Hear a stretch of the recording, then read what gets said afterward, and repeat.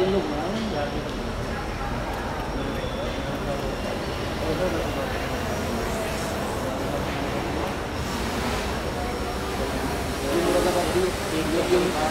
जो मुरादाबादी मुरादाबादी हो अभी